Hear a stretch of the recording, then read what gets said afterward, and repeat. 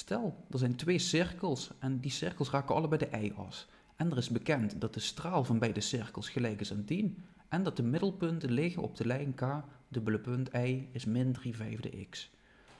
Nou, dan kan ik dat als volgt gaan oplossen. Nou, doordat ze de y-as raken, weet ik het volgende. Ik kan, ik kan namelijk nu zeggen, de x-coördinaat van middelpunt 1, dat moet dan wel gelijk zijn aan min 10. Want een raaklijn aan de cirkel staat altijd loodrecht op de straal.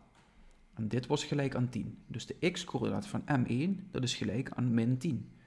En hieruit volgt natuurlijk ook dat de x-coördinaat van m2 gelijk is aan 10. Want hier geldt dat het ook daar loodrecht op staat.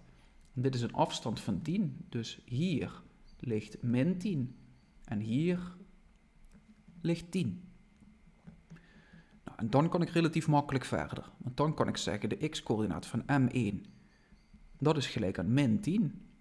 En wat geeft dat? Dat de y-coördinaat van m1 natuurlijk gelijk is aan... Ja, nu kan ik de formule voor k gebruiken, want m1 ligt op k. Dus nu kan ik zeggen dat is min 3 vijfde keer min 10.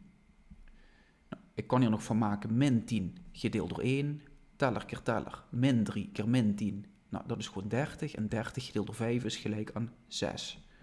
Dus de coördinaten van m1 dat wordt dan min 10,6. Hetzelfde ga ik doen met m2. Nou, dat is gelijk aan 10. En hieruit volgt dat de y-coördinaat van m2 gelijk is aan min 3 vijfde keer 10.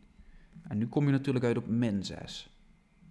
Dus m2, waar is dat nu gelijk aan? Aan 10, min 6. En je ziet dat je relatief makkelijk nu de cirkelvergelijking kunt opstellen kijk maar naar de groene formule die ik al had klaargezet.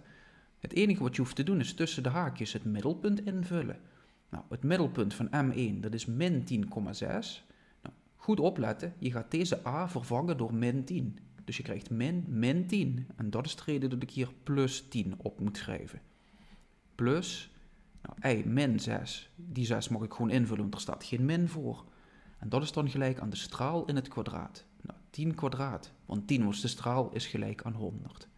En bij C2, wat krijg ik daar? Daar krijg je juist x min 10 in het kwadraat, want nu staat er weer niks voor die 10.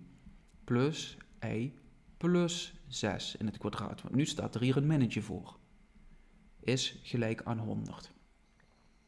Nou, kort voorbeeld, maar dan zie je dus een mooie toepassing van die cirkelvergelijking als bepaalde gegevens gegeven zijn.